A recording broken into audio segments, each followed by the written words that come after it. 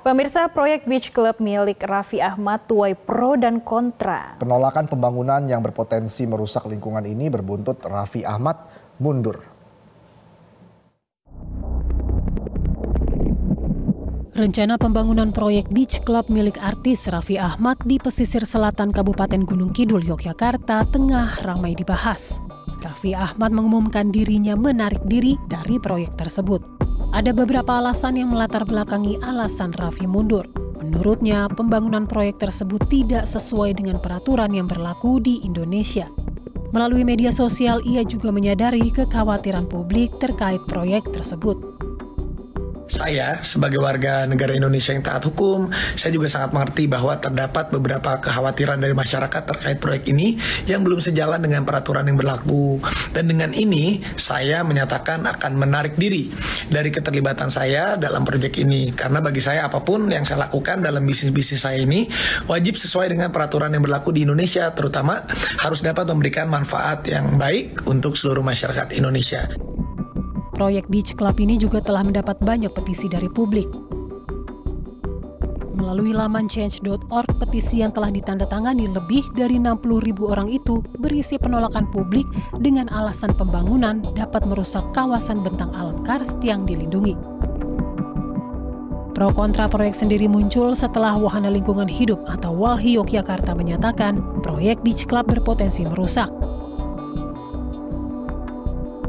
Dalam peraturan Menteri ESDM nomor 17 tahun 2012 menyebutkan, kawasan bentang alam karst merupakan kawasan lindung nasional yang pemanfaatannya tidak boleh merusak kawasan lindung.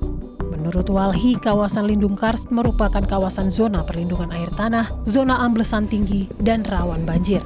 Menanggapi hal tersebut, Bupati Gunung Kidul Sunarianta mengaku pihaknya belum menerima permohonan perizinan dari investor. Terkait kawasan bentang alam karst, Sunarianta mengatakan hal tersebut sudah ada dalam rencana tata ruang. Kawasan ya, bukannya tidak bisa dimanfaatkan sebagai kawasan ekonomi. Kalau itu semua nanti digeneralisir sebagai kawasan kemudian kita tidak bisa membangun, terus masyarakat Gunung Kidul akan dibawa ke mana? Yang memiliki potensi aset yang sangat besar seperti ini toh di sini di sana ada tata ruang. Oh ini bisa oh ini tidak ini bisa tidak. Yang pas yang tempat-tempat itu yang memang tidak bisa. Makanya mungkin yang diberitakan di luar sana saya tidak tahu beritanya.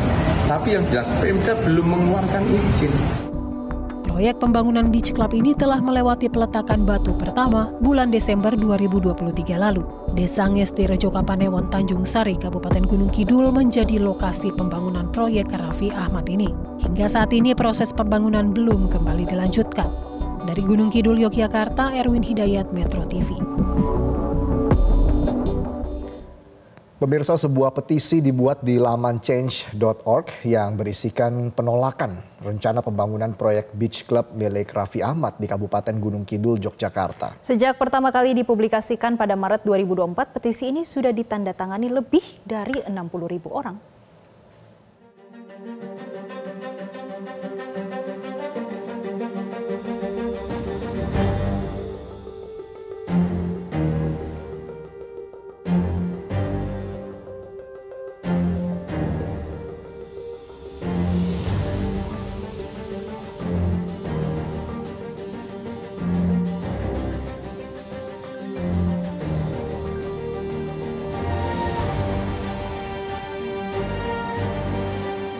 Jelajahi cara baru mendapatkan informasi. Download Metro TV Extend sekarang.